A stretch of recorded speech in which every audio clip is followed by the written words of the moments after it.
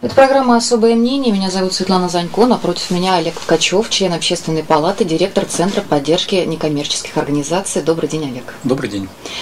А, начнем, пожалуй, со следующего. А, вы наверняка ознакомились с крупным интервью нашего губернатора, одной из э, очень известных газет.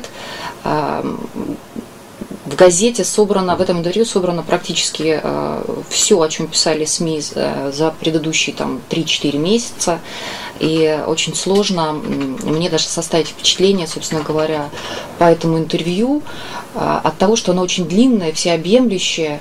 Ну и, честно говоря, очень часто а, отрывалась от этого интервью и не понимала, собственно говоря, для чего это сделали, это интервью вообще сделано. Для того, чтобы в очередной раз собрать весь материал, оповестить все население нашей страны о том, кто такой Никита Юрьевич Белых, для того, чтобы просто поставить галочку в своем журналистском задании. Или, возможно, я не права, и у вас действительно есть какие-то яркие впечатления от того, что здесь было сказано или какие вопросы были заданы?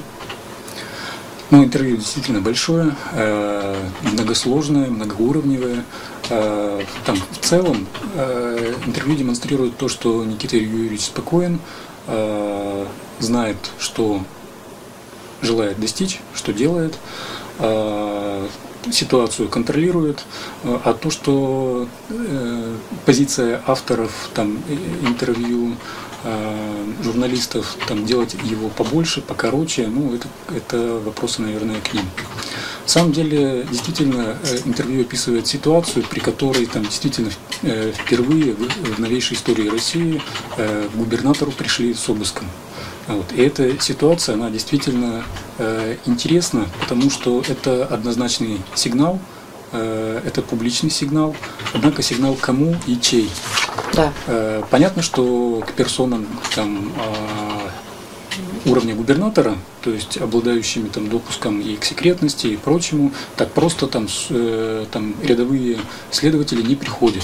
То есть понятно, что... Э, тут не просто рядовые следователи пришли, тут да. спецназ еще пришел, в этом заковыка. Ну, да. Э, понятно, что такие процедуры э, в отношении губернаторов санкционируются ну, где-то не здесь. Ну, э, Ясное это, дело. Это, это компетенция федерального центра. Вот, и понятно, что э, то, что э, все эти действия получили такую широкую огласку, там буквально на следующий день было видео, как э, бригада заходит в кабинет. Э, понятно, что предоставленные материалы там снимались намеренно, выкладывались намеренно, там такая оперативность э, в освещении, там э, такое обилие комментариев. Да, некоторые даже подозревали это как э, эти действия как честника пиар-компании. Да, да. То есть действительно это публичный сигнал. То есть мне кажется, что вопрос не в том, что искали, а вопрос в том, как это делали. Вот. И сигнал возникает следом вопрос, сигнал кому и зачем. А если это федеральный центр э, пытается сказать всем, всем губернаторам, всему губернаторскому корпусу, что смотрите, э, с сегодняшнего дня все будет немножко иначе. То есть э, вы являетесь главными должностными лицами в своих регионах, не избавлены, как ранее, от таких вот процедурных действий. Если сигнал заключается в этом, то я только за. Ну, то есть э, приятно осознавать, что э, любое должностное лицо, вне зависимости от своего статуса, положения, э, то есть к нему могут прийти и э, задать вопросы, спросить, э, провести ну, там, определенные процедуры, связанные со следствием. Вот. Если это персональные отношения федерального центра и там Никиты Юрьевича, то это вопрос совершенно другой. Ну, вот, то тогда как бы там надо думать, э, кому, как, чего, то есть вот вся вот эта вот э, конспирология, там теория заговоров, кто пытается там сместить, не сместить отдельно взятого губернатора, вот, и почему решили такими там средствами. Вот. Но это менее интересно, то есть этих интриг уже... Ну, ну вот сам Никита Юрьевич заявляет э, в своем интервью, что он не пытался анализировать и как, как бы то ни было трактовать особым способом все происшедшее. Но он занял разумную позицию, то есть э, в этой ситуации, то есть э, зачем думать о том, э, чего вот так просто так э, не решить, и все равно никто не скажет прямым текстом, вот, э, надо просто продолжать работать. То есть а, общее впечатление от этого интервью, а, что Никита Юрьевич Белых действительно а, зрелый состоявшийся политик, который знает, как реагировать на любые казусы, которые могут происходить, сопровождать губернаторскую деятельность. Ну, его нервам можно позавидовать. Но он сам сказал, что нервы у меня в этом отношении как канаты. Ну вот, собственно, все. Интервью такое весомое, целая, э, целая пачка сейчас листов передо мной лежит. Но мне кажется, это все, что можно сказать по этому поводу, по поводу интервью. Давайте перейдем к нашим делам областным. А, будем говорить о том, что сейчас студенты-медики не хотят ехать э, в районы, в частности, есть прецедент в Апарино, а, куда два студента-медика, которые получали стипендию на обучение, которым а, светило получить социальное жилье, получить подъемное в размере 1 миллиона рублей, ну, все блага, которые а, сейчас реформированное здравоохранение предлагает молодым выпускникам медицинских вузов, они от них отказались и вернули, собственно говоря, все деньги, которые были уплачены районом в качестве стипендий для них. Это показательно? Знаете, это э, вопрос, мне кажется, не только здравоохранения, это вопрос э, нашей системы образования в целом. Mm. Потому что, э, вот, допустим, вот этот случай именно со студентами-медиками, он, конечно, такой яркий, показательный, а, вот, и много о чем говорит. А, вот, однако много о чем говорит ну вот о чем не, он говорит не, этот не из того, чего мы раньше не слышали. Что мы, мы это все знаем, это можно было знаем. предвидеть. Да, да. Тогда, судя, следуя этой логике, можно было понять, что любые подъемные, вот эти социальные жилье, в общем, все, что придумали для поддержки молодых медиков, молодых специалистов на селе, это не работает. Ну зачем же так утрировать? Э, то есть отказались там сколько там, два-три человека, э, однако там другие, может быть, э, там соглашаются и продолжают работать. Ну, Одна... смотрите, какая ситуация. Ситуация усугубляется, и задел специалистов тает на глазах. По информации газеты «Апаринская сорока», которую подтвердили в администрации, почти все студенты-бюджетники, поступившие в медакадемию по направлению Апаринских больниц и администрации района, подали заявки на отказ от работы по контракту на родине. Это общая системная проблема, э, система образования. а, сколько, а сколько у нас педагогов, э, там, получая образование педагогическое, не идут в школы? Вот, да, ну, я не ошибусь, если скажу подавляющее большинство. Э, в школах людей нет, там, педагогов не хватает. То есть кадры там пожилые, э, молодежь идет крайне неохотно. Э, там, что касается других специальностей, там тоже. То есть, понимаете... Как... Вся бюджетная, собственно говоря, бюджетная сфера вы имеете в виду? Ну, вся бюджетная сфера, да. А, там те, которые а, технических специальностей, там студенты, да, они э, ищут там себе применение где-то, ну, э, они идут в основном там на предприятия, бизнес, то есть э, где более-менее востребованы, и там не так горячая проблема. А вот бюджетные там специальности, и тем более в районах, то есть, понимаете, если мы несколько лет назад там говорили, там, а, помните, там те разговоры об укрупнении населенных пунктов, там, да, о, да. сокращении, об оптимизации расходов, прочее, прочее. Э, если в районах, в деревнях не встает людей, вот, то зачем туда э, перспективному там, студенту э, ехать делать карьеру? Там, несмотря на все подъемные и, и там всю помощь со стороны государства. Нет, но здесь на самом деле такой вопрос встает. То есть мы о чем говорим? О том, что у нас а, нет общей политики государства а, по поводу развития территорий. Что они хотят сделать? Было заявлено а, буквально в прошлом году о том, что будет происходить дальнейшая урбанизация, будет сокращаться малые населенные пункты, и все население свезут в крупные города. С одной стороны было заявлено, я не помню кем, по-моему, министром экономики, что-то в этом духе, финансов.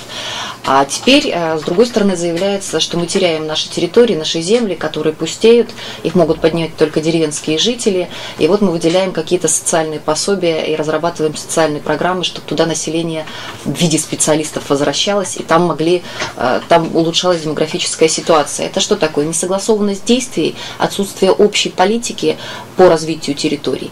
И отсюда получается, что и в образовании, собственно говоря, преподаватели не знают, на что нажимать, на то, что нужно вернуться, приехать и поднимать, или же стремиться к высотам и вообще уезжать из страны. Понимаете, не существует черного и белого. То есть не существует вот э, там э, провозглашенная вот государственная политика, да, э, там с одной стороны так, с другой стороны, вот в конкретных случаях там может быть совсем все по-другому. Э, территории, территории рознь. Вот. Какие-то территории имеют перспективы, какие-то там имеют этих перспектив на порядок меньше. В каждом конкретном случае, там, в каждом конкретном населенном пункте живут люди, и эти люди, они э, чувствуют, э, чувствуют свои перспективы. Вот что жизни. сейчас жители Апаринского района должны почувствовать в связи с такой ситуацией, например. А, а это уже почувствовали. Что перспектив вот, у них нет. Вот, вот те студенты, они э, почувствовали, они сделали свои решения. То есть они предприняли там свои решения, они отказались э, туда ехать. То есть они почувствовали, что э, там перспективы нет. А, вот. А, там все остальные жители, наверное, чувствуют себя примерно так же, но а, они пока не стоят там и, или уже не стоят, или еще не стоят вот перед э, вот, проблемой выбора. Ну, это, Олег, это сигнал кому? Или, может быть, это сигнал к это чему? Это сигнал, э, в первую очередь, региональной власти, вот, потому что э, вникать в проблемы э, конкретных территорий, выставлять приоритеты, может быть, вот оптимизация, там, укрупнение, там, э, в каких-то вещах она и бывает оправдана, но, разумеется, не во всех. Вот, и, разумеется, надо смотреть э, и мыслить э, категориями конкретных проектов. То есть есть территориальный проект развития там, отдельно взятого района. Этот район э, нужен, э, то, значит в него надо вкладывать.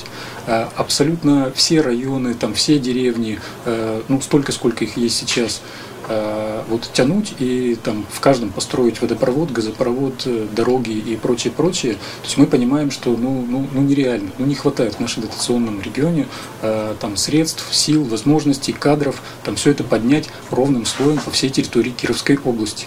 Разумеется, надо где-то сосредотачивать свои усилия, вот, а от чего-то там как бы не больно было, придется отказываться. Но это все естественным вопрос, путем должно происходить? Или это все-таки должно а, быть какое-то властное решение? Это должно быть не властное решение, это должны быть проекты. Вот, то есть э, э, проект – это как бы законченный управленческий цикл, там, э, имеющий свои цели. То есть если необходимо развить какую-то территорию, то надо определить, зачем ее необходимо развить, до какой степени, э, что на ней должно быть через совершенно конкретный промежуток времени, там, через год, через два, через пять, через десять лет. Э, В нашей области такие проекты существуют или ощущается их нехватка? Ощущается их нехватка, но они существуют.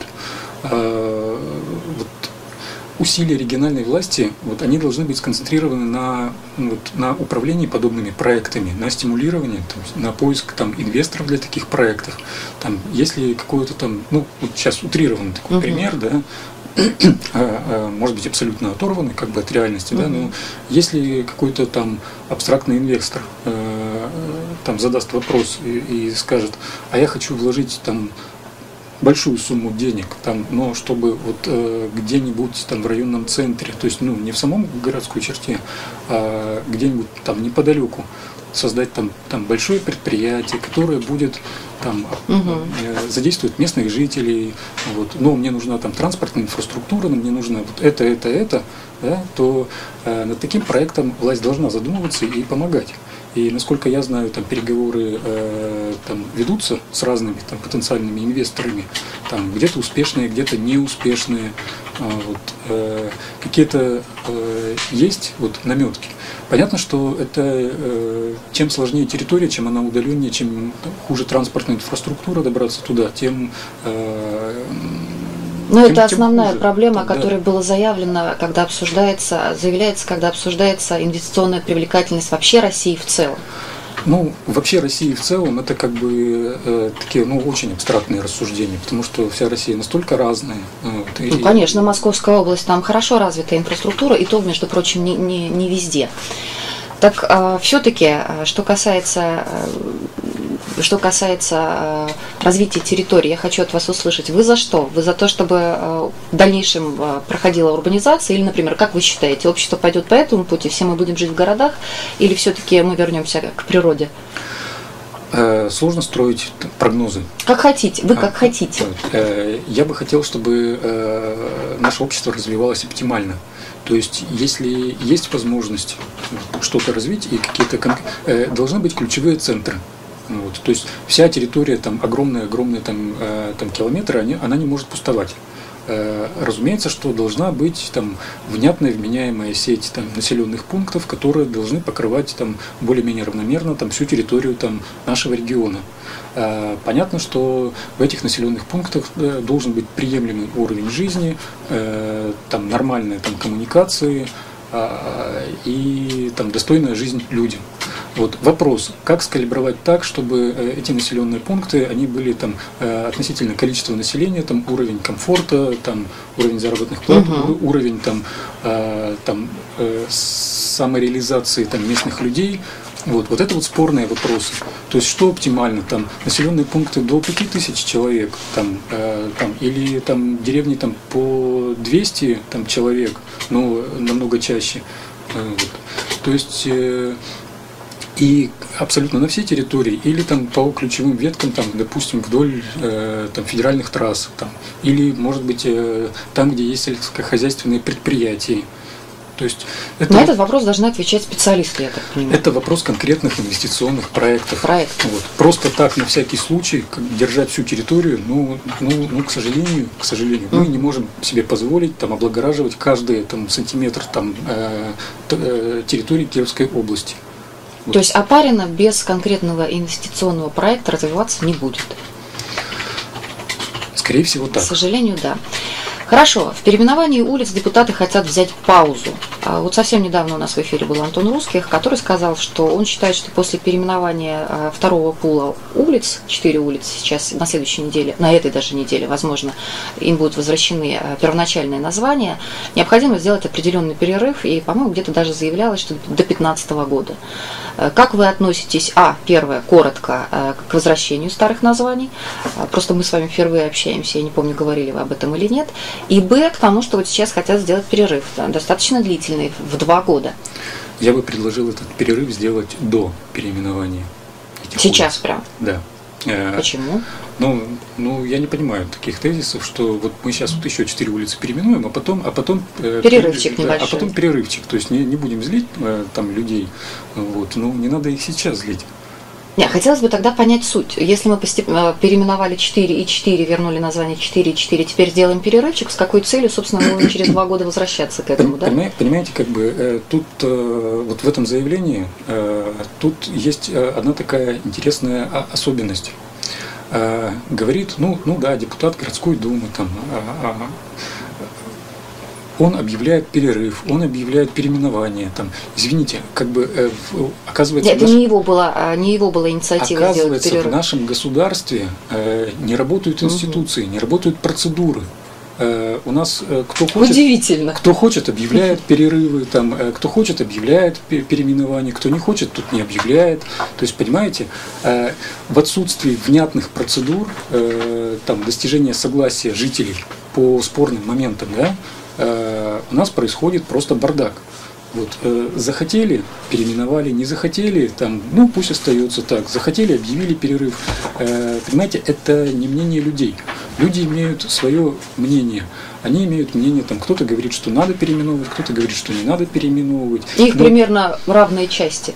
Так вот в том-то и дело, так как э, вопрос э, очень горячий, э, вот, э, у нас городская э, власть так и не смогла выработать э, внятные прозрачные процедуры, э, более-менее справедливые как для одной группы э, людей, э, так и для другой группы людей. А может быть, для этого сейчас и берут перерыв, чтобы подумать два года над этой процедурой? Знаете, если бы э, там решили взять перерыв для этого, то так бы и сказали, что, ребята, мы тут решили Говорите пер- честно. пересмотреть угу. процедуры. Вот. Никто же не говорит о пересмотре процедур. То есть какой целью? Вот. То есть э, сказали, что ну хорошо, э, мы получили там, там кучу разных реакций, там, положи, там одобрительных, кого-то запомнили там, в конце да, концов. Да. Вот. А теперь берем перерыв, потому что вот нам надоело получать реакции и с той и с другой стороны. Вот. А, ну, вот понимаете, ну, это, это, это же и есть как бы роспись в том, что у нас отсутствуют процедуры и э, отсутствуют институции которые бы там э, внятно и прозрачно, понятно для жителей это проводили. Что нам следует теперь от них ожидать, может быть, потребовать от властей? А я не знаю, что от них можно ожидать. То есть, э, понимаете, как бы... Э, Давайте в этом вопросе. Фантазия людей неистощима. Вот, то есть, э, там, э, допустим, перерыв объявили, но если там послезавтра, там, через месяц придет очередная инициативная группа и предложит там пере, переименовать, там, еще поиграть названиями, и я не знаю, как э, там отнесутся. Скажут, ну, хоть мы объявляли перерыв вот по этим улицам, а тут вот э, новые водные там поступили, ну, не знаю. Ну, хорошо был такой пример, например, а сейчас, когда люди увидели, как произошло все переименование, что никто не пострадал в финансовом плане от этого, да, собирается инициативная группа людей, которые проживают на одной из улиц, которой можно вернуть первоначальное название, и говорят, мы хотим. Они приходят в совет по топонимии, да, а им говорят, нет, извините, перерывчик. Ну, вот это и есть отсутствие правил. Э, мне кажется, что э, необходимо э, вырабатывать разумные правила, которые бы учитывали там, мнение многих людей. Вот. Не только тех, которые, может быть, даже проживают именно на этих улицах, имеют там адрес регистрации в этих домах, вот. но переименование там а, имен улиц – это дело всего города, в принципе. Ну, сама по себе вот эта процедура, которая, прецедент, который возник, это ведь неплохо, наверное, что, по крайней мере, э, всколыхнуло какое-то общественное мнение, а наш народ не очень Вы знаете, как привык колыхаться. Я не считаю, что э, там супер целью любого там движения, да, это всколыхнуть общественное мнение. То есть э, должна быть какая-то э, польза от того, от другого. То есть если э, там в определенный критический промежуток там, э, нашего политического настоящего, да, э, вопрос по переименованию города всколыхнул и отвлек от каких-то других там, э, проблем и забот жителей. Кто-то от этого получил там, безусловную пользу, кто-то получил там, урон там, моральный, там, этический, вот, кому-то просто неприятно, кто-то запутался в новых старых названиях.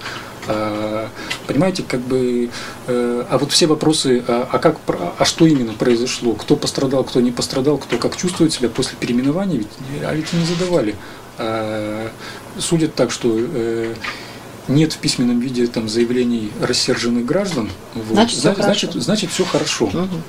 Вот. Ну, может быть и так. Вот. Но это формальный такой подход. То есть, э, раз никто не обиделся и никто там в суд не подал, э, там, может быть, это и прошло, вот, но осадок-то остался. Вот, потому что работали э, там не совсем понятные процедуры переименования.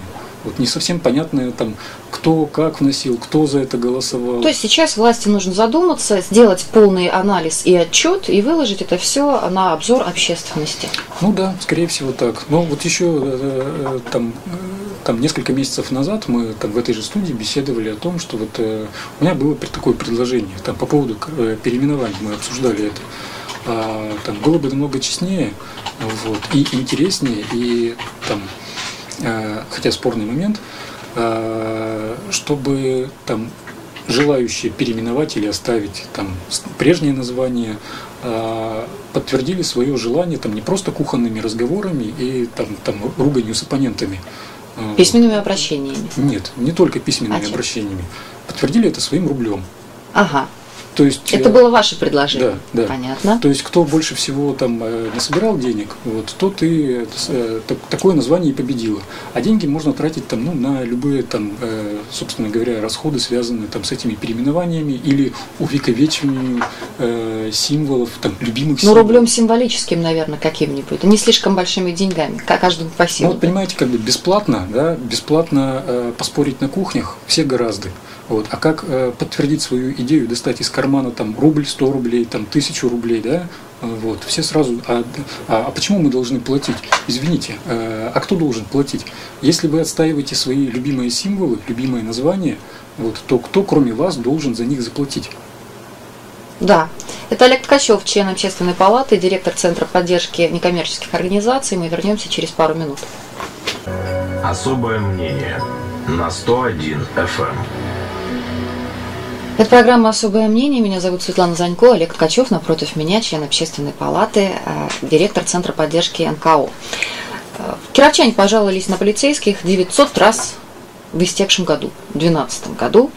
Наибольшее количество обращений было в областном центре – Вместе с тем, статистические показатели свидетельствуют о том, что в целом ни в одном из территориальных органов внутренних дел не наблюдается тенденция к росту числа сообщений о нарушениях прав граждан сотрудниками полиции. Вот такое сообщение. Как к нему относиться? Ну, так как отсутствует, э, там в этом сообщении отсутствует э, примерная статистика по прошлым периодам, э, там было бы, конечно, интересно сравнить. А раньше на еще милицию там жаловались чаще вот, или реже? То есть сравнивать до реформы и после реформы? Ну, да, до реформы, после реформы. Кого любят больше, милиционеров а, или полиционеров? Ну, да, это в общем, а, там, допустим, у управления внутренних дел сменился руководитель. Вот. Интересно было бы сравнить там вот эти периоды. То есть э, там до смены руководителя, после смены руководителя. То есть э, вообще факт обращения э, жителей там, э, в органы внутренних дел вот, говорит, там, может говорить о разных вещах. То есть это может говорить как и о там, повышающейся грамотности населения. То есть, э, мы больше знаем. Благодаря чему? Благодаря тому, что ну, в СМИ программы проходят, мы видим разоблачительные там какие-то ну, да. передачи. То есть, понимаете, обратиться ведь тоже надо э, написать официальное обращение, то есть э, чего у нас ну, патологически там, избегают там, подавляющее большинство Отстаивать граждан. свои права мы там, не привыкли. Да. Угу. То есть написать там, жалобу на деревню дедушки, это да там, э, пожаловаться президенту на всех сразу, это, это, это, это, это, это, это можно там, вольным текстом. А там, изучить там, это самое, там, пару статей и обратиться там, по форме, ну, ну то есть это, э, соблюсти обязательные атрибуты, а может быть это и должна быть и не жалоба, а просто там, запрос на разъяснение. Вот. Ну, там много существует форм. Э, это могут делать там немногие люди, вот. И если, э, допустим, количество обращений увеличилось, это может говорить о том, что грамотность людей повышается. Э, также это может говорить о том, что повышается уровень доверия. Вот. Или понижается, я не знаю. То есть, так как нет такой временной статистики, да, можно было бы говорить о понижении или повышении уровня доверия к органам внутренних дел, к статусу полицейского, Э, там, к статусу там, полицейского начальства, то есть э, искать правды э, там, у полицейского начальства. То есть если раньше там, вот интересно, ведь, допустим, на органы внутренних дел обычно, то есть на действия государственного органа жалуются в прокуратуру. Вот. А сейчас вот в этом сообщении там 900 обращений было именно в УВД. То есть это, а сколько было в прокуратуру на действия сотрудников там, управления внутренних дел? ну, интересно было бы сравнить вот динамику там двух цифр, сколько обращались э, по поводу тех же самых действий туда и туда, там, а Следственный комитет, там, ну, э, о разном это может говорить. Вместе с тем, вот э, невооруженным взглядом видно, что э, там процессы идут. Там люди начинают активно участвовать э, в программах там, э, охраны общественного порядка. То есть это и вот независимые... Это вы сейчас про добровольные народные дружины говорите? И про добровольные народные дружины, и там про там, такие акции, э, там, такие инициативные группы, как «Ночной патруль», вот, и прочее. И вот эти инициативы, то есть начиная как бы просто с инициатив там, на, на, по громким поводам, перерастают в какую-то более системную работу. Вот. И это уже деятельность там, самих граждан, вот, где они э, повышают и там, уровень своей компетентности. Можно это назвать вообще системной работой? Те два примера, которые вы привели, ДНД и ночной патруль. Системной работой чьей? Вот чьей? Вот. А, э, это, это системная работа. Это системная работа, но вопрос, как бы, чья системная работа. Если говорить там о государственной э, структуре, да, ну, государственной системе, угу. то это не совсем как бы работа государства. Вот люди востребуют такие формы проявления гражданской активности. Сами граждане? Да, сами граждане. Нуждаются в этом? Да, а они в этом нуждаются, и там рано или поздно находится там а, какой-нибудь там буйный человек, который э, там созывает там в социальных сетях и говорит там, ребята, а давайте вот пойдем. Вот. Это вы сейчас Сергея Косолапова имеете? Ну, в том числе, да. Вот, но он ведь не один там. Э, то есть, ну, я видел там достаточно много всяких разных людей. А вы участвовали? Да, я участвовал. Э, ну, Где, в ночном патруле? Да, да. Так. Э, то есть я посмотрел на людей. То есть э, это абсолютно разные люди. Вот, абсолютно там с разными там, там мотивами пришедшие. Угу. Ну, а какой мотив первенствует здесь? Что людьми руководит в основном? Ну, в основном как бы это такая там пассионарная сущность. То есть люди хотят что-то изменить. Это хороший мотив. Да, Да. безусловно. Э, Люди хотят что-то изменить в том городе, где живут. Э, И это хорошо. То есть они пытаются это сделать там своими руками, своими силами. э, Вот, и по необходимости прибегают там к официальным органам правопорядка и там, если встречают отклик и понимание, то продолжают эту работу дальше и там как-то отношения складываются. Вот. А, то есть э, те же самые, я видел эволюцию людей, там, мне, мне всегда интересно, вот, Мгм. как зарождаются инициативы, как они развиваются, там, и э, что происходит с теми людьми, которые в этом участвуют. Э, то есть Ну вот те- посмотрите, да, Сергей Косолапов, он осознал свою значимость и метит э, не больше, не меньше, как дело, губернатор. дело, дело не в самом Сергее. Вот, э, А в чем? э, больше интересны там э, те люди, которые там поддержали там идею и к чему они идут там дальше. Там, Э, там Сергей, он, ну чего, Но. Сергей, Сергей, Сергей просто человек. Вот, э, Как и все него- мы. Да, у него есть там свои какие-то амбиции, эмоции, там Но свое однако он был вдохновитель, организатор. Правильно? На него равняются. Ну, не только на него. То Да. есть там, там, там есть э, несколько там, э, там и лидеров, и там э, организаторов, администраторов. То есть это коллективная Я к тому, работа. что не хочется потерять Сергея, чтобы, например, тот же ночной пат- патруль не канул в лету, например. Знаете, если будут другие э, интересы знаете, лидеров и организаторов. Вот, вот в связи с этой инициативой, если Сергей займется чем-то другим, вот, э, мне интересно, э, ночной патруль останется вот ночным патрулем, э, вот, и те люди там продолжат там вместе, потому что потому что они так думают, мыслят и Тогда способны самоорганизоваться. показательно, да. да. Мгм. Или как бы там с уходом, допустим, Сергея там, э, там все развалится. То есть вот это вот ключевой вопрос, то есть э, инициатива завязана на личности, или это становится как бы системной работой ин- ну, э, института.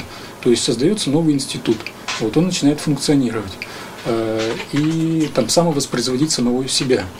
Вот. То есть э, очень тонкие, очень важные моменты.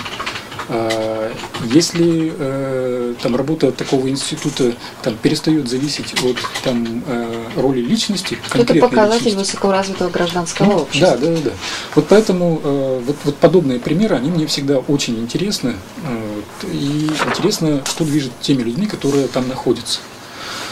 Вот посмотрев на многих людей, которые там из того же ночного патруля, я могу сказать о том, что там э, э, точка э, тогда, когда они входили, там начинали эту деятельность, и то, кем они являются и как они ведут себя сейчас, это там разные вещи.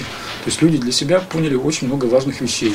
А Вот, они поняли там какие-то процедурные вещи по взаимодействию, там, по взаимоотношениям там, с государственными органами, с теми же там, структурами УВД. Э, Вот. э, Они стали более там, э, там, ответственны даже ну, в своих э, там, каких-то действиях. То есть в том числе это и воспитывает тех людей, которые в этом участвуют. Э, Вот. То есть э, и это немаловажный фактор. Там подобные инициативы стоит оценивать не столько там, э, сколько пьяных водителей поймали. Мгм. Вот. Ну, такой сухой остаток. Э, В сухом остатке остается еще и там те вещи, которые вынесли те люди, которые там участвовали. То есть они изменили там свое поведение и свое мнение по каким-то вещам. И вот они стали жить немножко по-другому. Вот, и это тоже Да, это вы ответственно заявляете? То есть вы Да, проследили да, это все, да? да. Я просто чувствую, что назрела очередная э, встреча со всеми, кто участвовал, ну, с с представителями э, участия, с участниками ночного патруля, потому что то, что вы сейчас говорите, оно ведь самое ценное, действительно. Ну, там сейчас э, существуют там новые предложения, уже там, э, там некая программа там «Безопасный город». Мгм. Вот, э, я надеюсь, что там все сложится там благоприятно, и эта там группа, она вырастет и сможет там осилить то, там, чего там задумывает там новые там планы. Э, Но все пока очень расплывчато. Ну, да? пока, пока, да, пока еще И не... вот здесь еще последний вопрос, буквально а, прямой сразу ответ. И тут будет зависеть от того, что есть лидер или нет лидера, или зависеть будет от чего? Как всегда, все будет зависеть от многих факторов. Понятно, хорошо. Э, У нас осталось буквально две минуты. А, Коротко. В Абутнинске ребенку-инвалиду отказали э, в посещении детского сада. Двухлетнему мальчику неправомерно отказала комиссия при, районном, при районной администрации. Об этом сообщили э, в область прокуратуре. Ну, как юридический факт, что э, отказали, тут ну, ну, ну, не должны были отказывать. Там, Мгм. ну, прокуратура признала нарушение закона. Э, а вообще, э, просто мутнинские педагоги расписались в том, что они не знают, там, что делать с этим ребенком. Я не знаю степень там, тяжести инвалидности, там, э, я не знаю конкретных обстоятельств, но тем не менее законом подразумевается, что вот ин, инклюзивное образование, там любой ребенок-инвалид может наравне ходить в обычный детский сад. И вот здесь-то как раз самая большая проблема наоборот возникает. То есть хорошо бы, чтобы после такой новости последовало э, опять же разбор полетов, да? В чем проблема? Мне кажется, что в данном конкретном случае э, там э, проблема в том, что не сплели требования закона и там э, решили там перестраховаться, там как бы чего не вышло. Э, если мы до сих пор не слышали там других э, вопиющих там каких-то там случаев, что э, произошло что-то плохое, э, вот, э, то, наверное, нет такой большой проблемы. Я понимаю весь скепсис по поводу э, там кадровой составляющей наших дошкольных учреждений. Но, тем не менее, я не слышал пока ни одного примера, чтобы э, э, в обычный детский сад, там не какой-то там элитный, угу. да, вот, э, привели там ребенка там угу. с инвалидностью и произошло что-то плохое. Ну, я, есть... честно говоря, тоже со своей стороны не видела, а, чтобы а, дети-инвалиды учились в детских садах. То есть я не все детские сады, конечно, посещала, но в своем опыте родительском могу сказать, что я даже не представляла себе такого, что в обычном детском а, саду могут учиться дети-инвалиды. Потому что ну, а как, раз, как раз в силу того, что вы обозначили, силу кадрового вопроса. Потому, а что, чтобы, нет потому что чтобы а, работать в инклюзивном образовании, необходимо иметь очень высокую специализацию. Это достаточно тяжелый труд.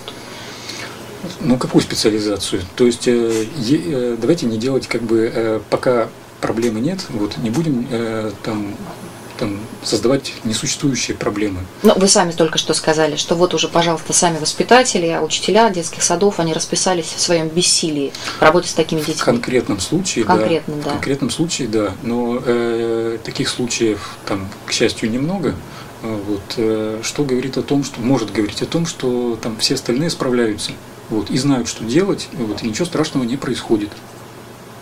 Хорошее такое оптимистичное а, завершение нашей программы. Это особое мнение Олега Ткачева, члена общественной палаты, директора Центра поддержки НКО. С вами была Светлана Занько. Всего хорошего. До свидания. До свидания.